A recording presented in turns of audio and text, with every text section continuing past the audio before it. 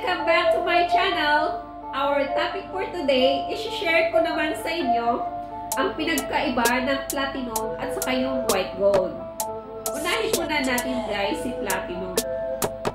Si platinum po ay isang natural na metal na hindi na kailangan haluan pa ng other metal compared sa 18 carats na white gold ring.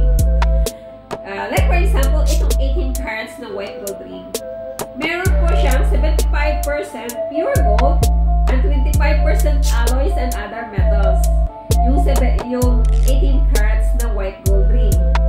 Ito namang ring na ring ng asawa ko. Platinum, 95% platinum and 5% alloys. So imagine, pure platinum is 95%. So medyo, pag i-compare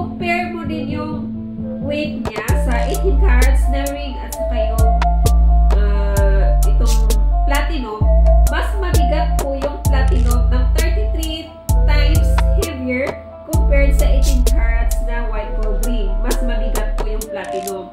Yung platinum, puro, hindi siya kailangang haluan pa ng other metals unlike sa 18 carats na white gold na pinaghaluan ng other metals. Yung platinum is pure.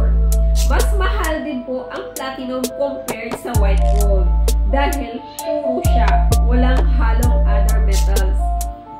At saka yung platinum, ang naka-disadvantage sa platinum, madali po siya ma-scratch kasi wala siyang, hindi katulad ng white gold, may halong other metals para maging strong.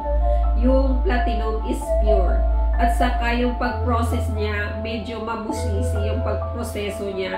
Kaya mahal ang platinum. Pag napunta po kayo guys, for example, sa mga jewelry shop, makikita niyo po doon yung mga rings na parang pagkamukha lang sila yung rings ng white gold. Kasi yung platinum at saka yung white gold, talagang magkamukha lang sila pag uh, punta nyo sa jewelry shop. Ang, ang kintab, napakaganda. Pero pag hawak nyo po yun, magtaka kayo, bakit ang bigat? Doon nyo po malalaman na platinum yun. Kasi yung platinum, mas mabigat siya ng 33% heavier than white gold. Mas mabigat ang platinum. So, sana po guys, sa video na to, meron kayong natutunan. At kung meron man kayong mga tanong, please comment and share, likes, and subscribes. Thank you for watching. God bless.